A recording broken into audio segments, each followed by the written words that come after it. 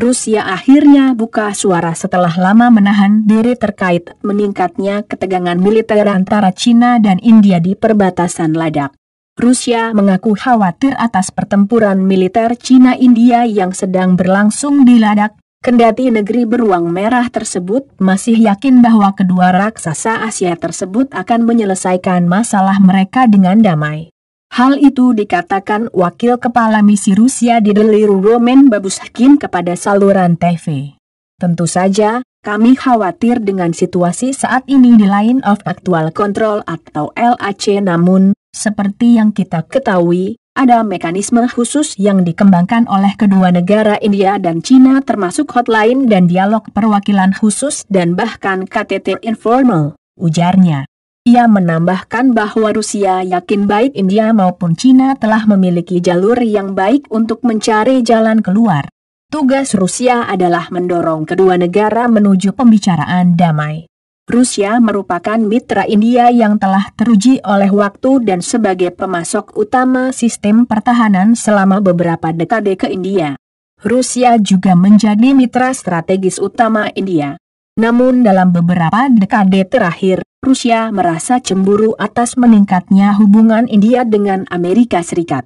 Kendati pemerintah India telah melakukan segala upaya untuk mempertahankan hubungan yang kuat dengan Rusia dan Moskow sehingga tetap menjadi teman dekat.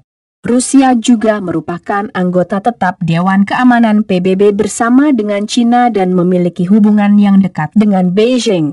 Pekan lalu, India mengatakan tekad mereka sangat kuat di perbatasan untuk memastikan keamanan dan kedaulatan nasionalnya.